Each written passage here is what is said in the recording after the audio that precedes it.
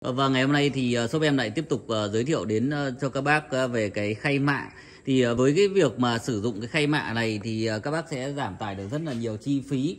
Và cái video này đặc biệt muốn gửi đến các bác nhà đang cấy lúa và đang canh tác, đang làm trên những cái thửa ruộng mà chưa biết đến cái phương pháp cấy mạ khay này thì có thể tham khảo cũng tham khảo cái video này để biết đâu đấy mình cũng thử làm theo cái phương pháp cấy mạ khay này để cho nó phù hợp với lại uh, cái uh, việc phát triển cấy lúa của hộ gia đình của nhà mình.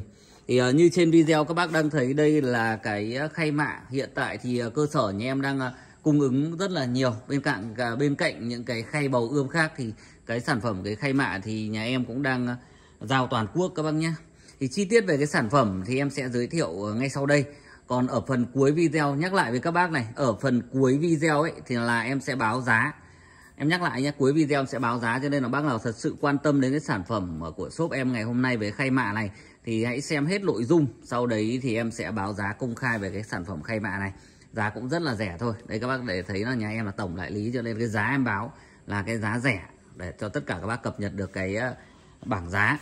Và chi tiết về cái sản phẩm về cái khay mạ bên nhà em thì em sẽ quay chi tiết cho các bác để mình xem. Thì đây là những cái kiện hàng mới này còn đây là một cái uh, em bóc ra. Thì về quy cách của một cái khay mạ thì nó sẽ là hình chữ nhật như các bác nhìn thấy đây. Với một chiều của nó là 35 một chiều là 60 tổng là 561 lỗ trên một khay. Thì ờ, với diện tích ờ, của Bắc Bộ thì ờ, các bác sẽ dùng 30 khay cho một xào 360 mét vuông. Xào Nam Bộ là 500 mét, xào xào Trung Bộ xào Nam Bộ là 1.000 mét thì tương ứng với lại khoảng độ 60 80 khay. Tùy theo cái này thì em cứ thông báo cái số lượng chung chung thôi. Về cơ bản thì các bác ờ, sẽ áp dụng cho từng địa phương rồi còn do cái chất đất nữa. Đấy, đấy là cái về việc cái sử dụng cái khay mạ. Thì ờ, cái thiết kế của cái khay mạ này thì các bác lưu ý giúp em này. Thì cái khay mạ này nó là được thiết kế theo hình lục lăng. Các bác nhìn chi tiết giúp em ạ để à, cái hình này này thì nó sẽ có gia tăng cái độ cứng nhé nó giúp cái khay của các bác là lúc mình cầm trên tay mình đi cấy ấy, là nó sẽ cứng hơn và nó bền hơn. Ở bên dưới đáy khay thì sẽ có lỗ. Cái lỗ này sẽ làm cái nhiệm vụ là thoát nước. Và cái rễ mạ nó dài quá thì nó sẽ đâm xuống đây. Các bác nhìn chi tiết giúp em ạ. Và cái ờ, hình lục lăng thì ở bên trên là nó to nó theo hình phễu. Bên dưới là nó nhỏ. Đây các bác nhìn à, chất liệu để làm nên cái khay này thì được làm bằng nhựa. Cái này là nhựa dẻo cho nên là nó màu trắng. À, cái hàng loại 2 ấy, em giới thiệu các bác là nó nhựa nó màu đục hơn. Thì là nó giòn và nó không bền bằng cái loại này. Vì nhà em là bán hàng online cho nên là em sẽ chọn cái hàng tốt nhất để gửi cho các bác thôi. Đấy là thông báo các bác thế để các bác uh, tiện cho việc so sánh các cái giá sản phẩm các cái sản phẩm trên cùng thị trường. Hiện cũng có một vài đơn vị đang bán. À, thì uh, một cái thùng này một cái kiện này là 500 thông thường thì các bác sẽ lấy 100 ờ, khay một thôi. Nhưng tuy nhiên là với các bác ở miền Tây ạ đặc biệt là khu vực ờ, Sóc Trăng khu vực ờ, Bạc Liêu khu vực Cà Mau thì toàn lấy cả kiện cả thùng. Có bác lấy hai thùng. À, cái phương pháp cấy mạ khay này thì một lần nữa trong video này thì em sẽ nói về những cái lợi ích của cái việc sử dụng mạ khay. Thì với cái sử dụng mạ khay này thì tối ưu hóa được sức lao động đầu tư giá thành ờ, ban đầu thì ờ, thấp, nhưng mà hiệu quả kinh tế về sau lại dùng được lâu dài. Cái này độ bền của nó, cái khay mạ này, nó được tầm độ khoảng 3 đến 4 năm, nó hỏng thì nó cũng không hỏng hết. Có nghĩa là, ví dụ, em ví dụ nha, là các bác mua 100 khay, thế dùng qua 3 năm thì nó sẽ bị hao mòn đi thì nó còn độ khoảng 70 khay. Thì các bác ờ, chỉ cần mua thêm 30 khay về bổ sung và thay dần thôi.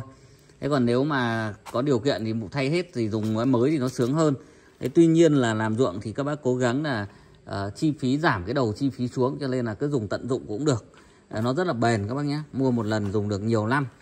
Đấy, thứ hai là uh, cái trong cái quá trình mình gieo mạ vào đây các bác gieo mạ vào đây thì mang cái khay mạ này đi ý, mang cái khay mạ này đi cấy ấy, thì nó rất là nhàn các bạn Đấy, nó không mất nhiều công. Đấy, các bác cuộn vào mang đi là nó rất là nhàn và một cái điều quan trọng nữa đặc biệt đó là khi mà sử dụng cái phương pháp cấy mạ khay này thì nó làm tăng cái năng suất lúa của các bác lên. Bởi vì cái khóm lúa này nó đẻ rất là to. Đấy, trong quá trình cấy này nó không bị đứt rễ như cái phương pháp cấy mạ nhổ kia cho nên là cái khóm lúa nó mọc ra rất là cây bụi lúa rất là to. Đấy, trổ bông dài và cho năng suất trên tổng diện tích là cao. Đấy, cho nên là cái phương pháp cấy mạ khay này ở quê em đã sử dụng cầm độ khoảng 15 đến 20 năm nay và mọi người vẫn đang sử dụng cái ờ, phương pháp này. Đấy, vừa đầu tư hết ít ai cũng có thể làm được chẳng đáng bao nhiêu cả. Chứ với cái uh, cách sử dụng uh, tức là cái ngành nông nghiệp của Việt Nam mà nói thì không phải đơn vị nào cũng mua được máy cấy không phải gia đình nào cũng mua được máy cấy phải không các bác? Thế cho nên là cái việc mà tham khảo dùng cái mạ khay này thì em cho rằng nó là uh, tuy nó vẫn còn lạc hậu uh, so với các địa phương thế nhưng mà uh, nó cũng rất là ok chỉ đầu tư nó thấp ai cũng có thể làm được vài trăm nghìn là các bác ờ, đã có để sử dụng để cấy rồi. Nó rất đơn giản đúng không ạ?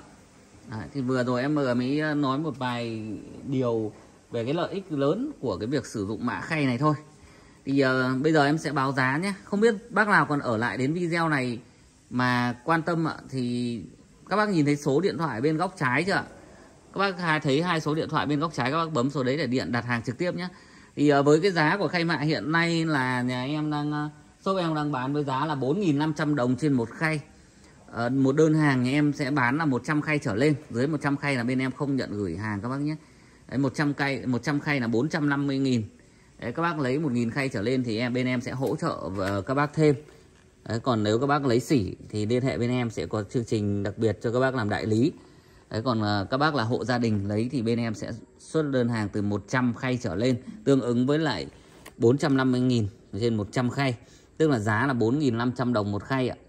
Đấy, nhưng mà cái đơn hàng là phải 100 khay em mới gửi nhé em báo luôn là như thế thì mới đủ được cái cái cái lợi nhuận để bên em bao cước được cho các bác vì cái này lợi nhuận nó cũng rất là thấp ạ.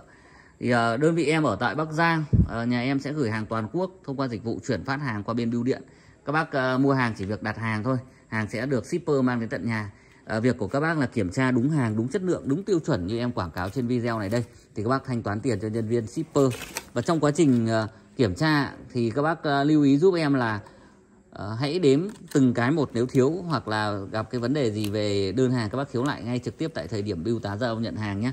Và cái video ngày hôm nay thì cơ sở em xin được kết thúc ở đây. Một lần nữa thì xin được cảm ơn các bác rất là nhiều trong quá trình uh, shop em kinh doanh cái sản phẩm khay mạ này đã ủng hộ rất là nhiều và với các bác đã từng mua thì ờ, những nhà hàng xóm, những ờ, những hộ nông dân ở quanh ruộng khu à, thửa ruộng nhà mình có nhu cầu sử dụng mạ khay thì các bác nhớ giới thiệu giúp bên em nhé Xin cảm ơn à, rất là nhiều ạ và xin à, chúc các bác có những cái giao dịch thành công với shop của em. Xin chào các bác ạ.